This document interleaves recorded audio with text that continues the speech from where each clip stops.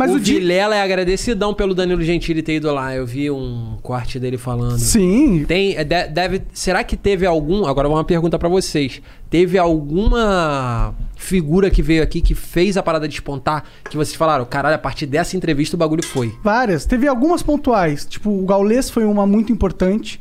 O do Nando Moura foi muito importante porque abriu uma. É, tipo, viu que a gente ia respeitar todos os lados mesmo aqui. Sim. E teve várias outras, deixa eu pensar.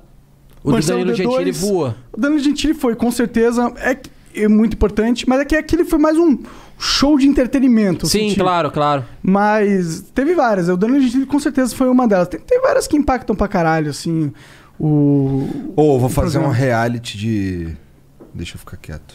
Não, fala, fala. não, fala, não, porque fala. se eu explanar, vagabundo vai copiar. Vai copiar, pô. Ah, é, a Faz ideia não se primeiro, joga. é, faz E é primeiro. rápido. Ideia não fazer se joga. primeiro.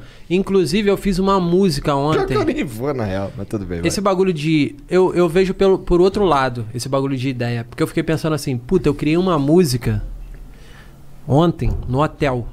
Antes de vir pra cá, eu falei assim: eu vou criar uma parada pra poder mostrar pra eles que foi uma parada que aconteceu enquanto eu tava aqui em São Paulo pro programa deles específico.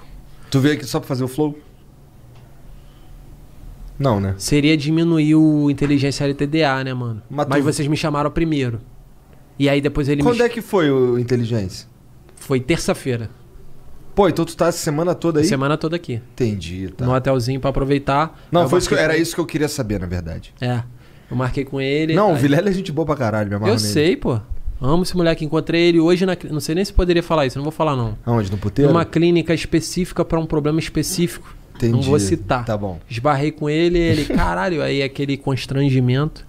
Caralho, o que, que tu tá fazendo aqui? O que, que tu tá fazendo aqui? Como se tivesse encontrado um puteiro, mas não foi. É, foi foi uma no- foi clínica na de resolver Boston. coisa específica. Boston Clinical Group.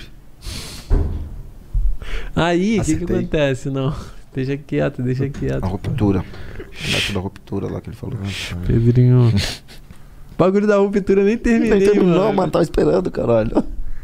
Espera o Bulldog chegar. Mano, o maluco botou um vestidinho com a minha nádega de fora. Tô Aí eu já entendi tudo. Esse daí é o famoso Pô, E é aí? normal, porra. É normal. pijaminha de Normal de caralho, monarca. Eu nunca tinha tomado uma dedada, não, irmão. Cara, é normal tomar dedada. você Bebê, nunca até tomou? você nunca ter tomado. Agora eu já tomei. Ah, então entendi. eu já tomei. Entendi. Até eu nunca ter tomado não era normal, caralho. Entendi, entendi. É isso, mano. É o que a gente falou do bagulho. Tipo assim, se eu não convivo Agora tu com toma uma você, dedada todo dia. você é diferente. Até o ponto que eu começar a conviver com você. Agora tu convive com as dedadas? Agora eu convivo, então pra mim já é normal. Então, então, se uma mina pedir pra você, quero enfiar o dedo no seu cu, você vai falar não. Provavelmente. Não, mas. Ah, mano. Ah, é aí eu, amigo, te- eu tenho que tá, não, desconstruir é. vocês. É. em E você. Monark, vai falar? Vou Eu falar claro. Pô, você tá esperando ir no médico agora que você pode fazer isso de graça? É, isso mesmo. Vai esperar dar 50 anos. Porra.